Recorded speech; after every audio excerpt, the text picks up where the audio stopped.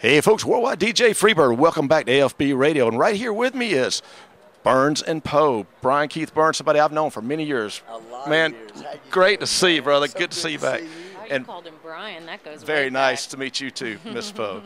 Now, you. guys, tell me what's going on with you in the music business. These guys have been around the block a while, folks. Now, let me back it up and give you a brief story.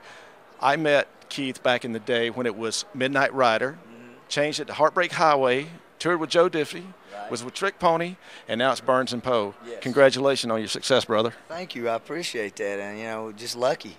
A lot of hard work and a lot of luck. But, you know, uh, just excited about working with Michelle. Michelle's been, she was on DreamWorks Records uh, three or four years ago. And I'd seen her around at different award shows and stuff like that. She's played bass for Dierks Bentley. And, and uh, when Heidi left Trick Pony, we got to get, you know, we James Stroud, who was producing our record, he brought Michelle to the table and, and said, "Hey, I think I think this girl would be perfect for y'all." And as soon as we hired her, Ira decided he was gonna gonna take off and do a solo thing. So I'm like, "Way to!" He started calling me Dark Cloud. Yeah, Dark Well, well, you know- You're a lovely lady. Now, how is it working you. with this guy?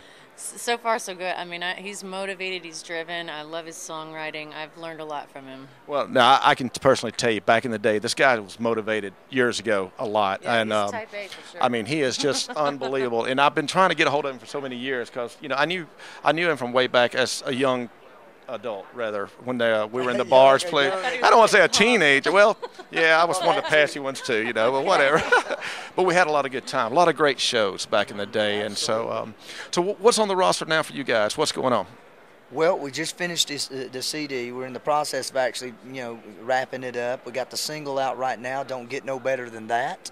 Uh, it's top 20 on uh, on Music Row Chart right now. Go, uh, going for ads as we speak on the P1 stations. Very and in the midst of a nationwide radio tour to go visit radio and introduce them to the new. new we've already been about 70 radio stations. We're gonna probably hit about 30 more before we're done. And and we're booking dates, booking shows, doing our thing, just trying to trying to make the the world uh, aware of Burns and Poe. Awesome.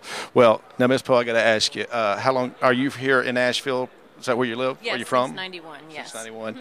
Now, have you been? Now, he said you played bass with Keith Burns. Is that correct? I mean, uh, sorry, Keith Urban. Um, no, uh, well, we were on tour with him for a while, but I played with a guy named Steve Holy and then Dierks Bentley, and for the past five years, I've been with Hank Jr.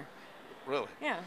See, this gets better every time, folks. You never know who you're going to meet up here. But, well, look, I know you guys are busy on schedule. I have another interview that's here finally. But, you know, Keith, it's so great to see you. And I wish you the best in the business. It's I mean, a pleasure, man. I- we got to exchange numbers. Yeah, I'm gonna give it to you before you we leave can't here. go 20 years That's again right. before we talk. absolutely.